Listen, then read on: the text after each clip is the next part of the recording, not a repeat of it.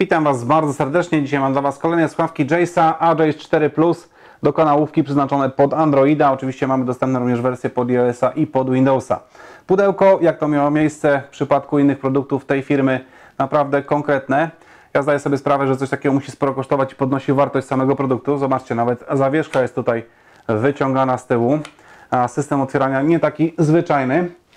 E, Przeczytam Wam teraz te najważniejsze rzeczy dotyczące mm, danych technicznych. E, Jeżeli chodzi o przetworniki 8,6 mm, e, częstotliwość 20 Hz do 21 kHz, czułość 96 dB, długość kabla 115 cm mm, i końcówka jack 3,5 mm. Pozwólcie teraz, że otworzę te słuchawki. Tutaj trzeba to wcisnąć i wypchnąć, o ile mi się uda otworzyć. O, udało się. Kolejne pudełko tutaj pod spodem już jest plastikowe. Słuchaweczki tak są zapakowane. Dodatkowo widać od razu mamy tutaj nakładki silikonowe, natomiast nie mamy tutaj żadnych nakładek z tego co widzę z pianki Comply. Słuchawki od razu wypadły, zaraz do nich przejdziemy. Instrukcja obsługi dość gruba, ale pewnie dlatego, że jest w kilku językach. Dokładnie, mamy obsługę, znaczy nie mamy obsługę, tylko mamy instrukcję obsługi w kilku językach. To sobie odłożymy. Jeszcze raz rzut okiem na pudełko. No i słuchawki. Kabel, jak czytałem na opakowaniu, 1,5 metra. Końcówka jack 3,5 mm. 90 stopni końcóweczka, tak będzie lepiej widać. Kabel płaski, także nie powinien się plątać. Mam taką przynajmniej nadzieję. Zaraz to sprawdzimy. No troszkę się splątał.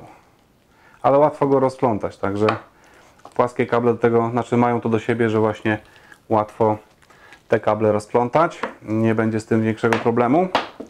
Ok. Na jednym z kabli oczywiście pilot do podgłaszania, ściszania, odbierania rozmów, przerzucania mm, między kawałkami, które słuchacie. Mikrofon to jest z tej strony. Generalnie obwódka tego pilota jest aluminiowa. Także zadbano o każdy szczegół. Tak wyglądają same słuchawki. Tutaj z tyłu również jest taka wstawka aluminiowa. Oznaczenie, która prawa, która lewa.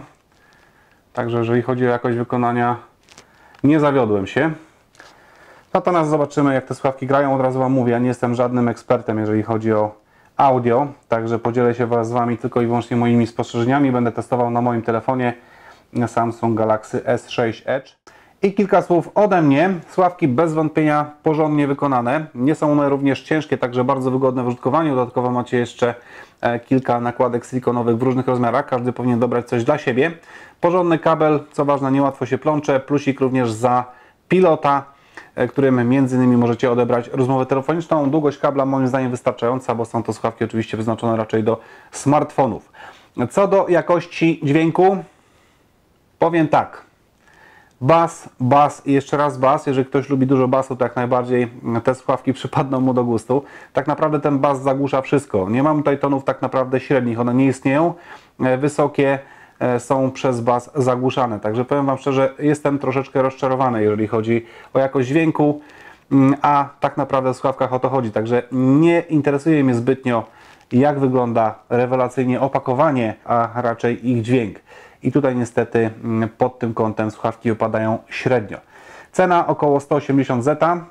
Tyle za nie przyjdzie Wam zapłacić. Linka do słuchawek znajdziecie w opisie tego filmiku.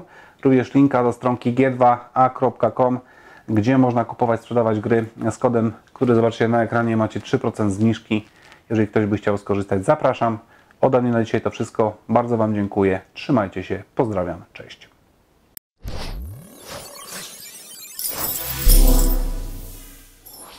Zapraszam do mojego sklepu komputerowego blackwhite.tv.